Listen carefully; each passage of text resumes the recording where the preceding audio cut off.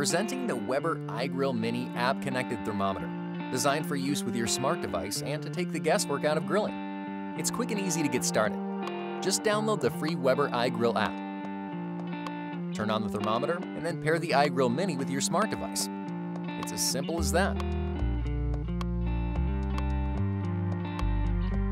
The iGrill Mini's single probe and smart LED make it easy to set up and grill your favorite foods. To set up your grill session, simply select your food and pick the desired doneness. You can also set your own preferred target temperature. Now track the core temperature of your food. The temperature is displayed in real time directly on your smart device. Once your food is ready, the iGrill Mini will notify you. Get ready to serve up perfection. iGrill Mini, available in stores now.